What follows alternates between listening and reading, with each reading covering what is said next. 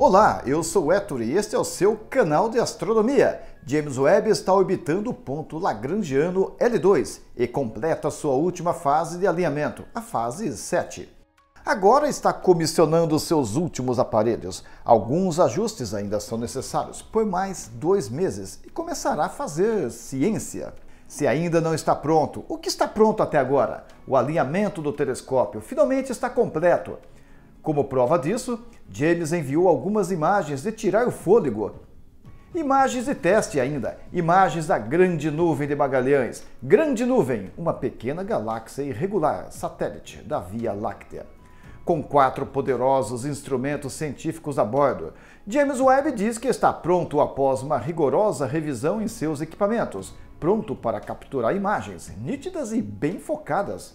Esta é a sétima etapa do alinhamento do telescópio, a última etapa. Agora só falta completar o comissionamento dos instrumentos. Dois meses temos pela frente para começar a brincadeira. Imagine o que poderemos ver quando esse telescópio começar a fazer ciência de verdade. Observar uma imagem pode ser apenas atentar para alguns detalhes, cores e curiosidades. Para um astrônomo, a coisa é um pouco diferente. Os detalhes podem revelar o comportamento de uma galáxia, uma descoberta extraordinária, um novo objeto do espaço, enquanto que as cores indicam o elemento presente no objeto, ondas eletromagnéticas, campos de gravidade, forças exteriores. Agora, imagine as imagens e observações do telescópio feitas por um astrônomo ou astrofísico cientista.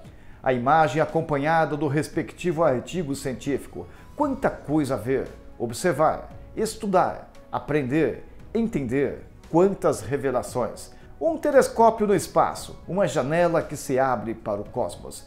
A equipe de engenharia do telescópio desenhou uma ótica para um bom desempenho.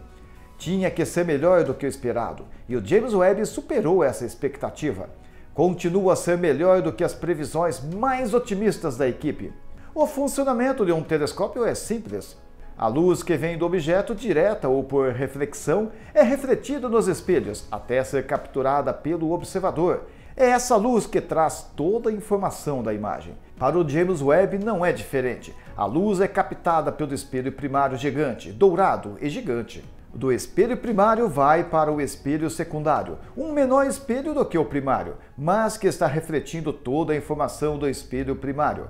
O espelho secundário envia a luz refletida para o interior do telescópio, onde tem outro espelho, o qual envia para os aparelhos do telescópio, cada qual responsável por capturar determinados comprimentos de ondas da luz. A qualidade da imagem é limitada por difração. Isso quer dizer que a imagem capturada é tão boa quanto se o objeto fosse visto fisicamente.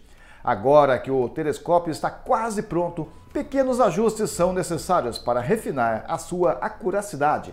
Nada que possa comprometer a eficácia do telescópio. Essas imagens mudaram profundamente minha maneira de ver o universo, disse Scott Action, cientista de controle e detecção de frente de onda do Webb.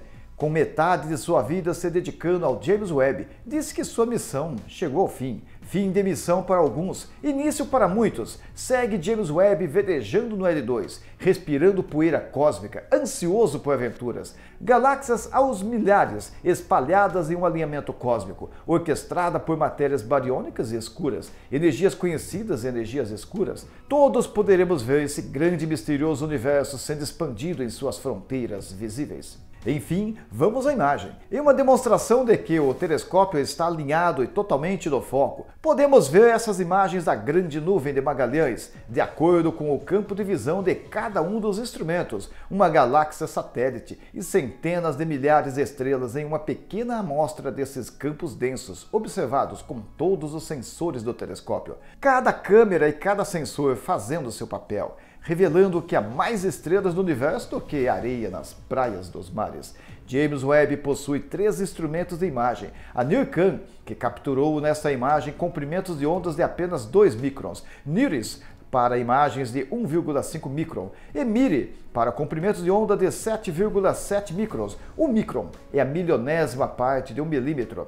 Note que todas essas câmeras levam a letra IR em seu nome. IR é de infravermelho. O resultado, por enquanto, é este: imagens nítidas revelando luz de estrelas, bem como emissão de nuvens interestelares. O quarto instrumento do James Webb é o NIRSPEC, que é um espectrógrafo responsável por gerar espectro, mas nesse caso, o NewSpec pode também gerar imagens como a de 1,5 micro mostrada aqui. O telescópio possui sensor de orientação fina que tem por finalidade rastrear estrelas guias para apontar o telescópio com precisão.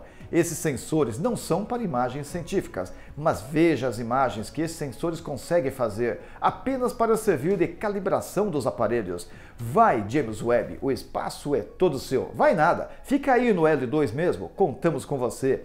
Estamos aqui esperando ansiosamente pelas imagens científicas. Será que dois meses demoram? Deixe seu poderoso like e inscreva-se nesse canal para ver mais vídeos como este. Fui!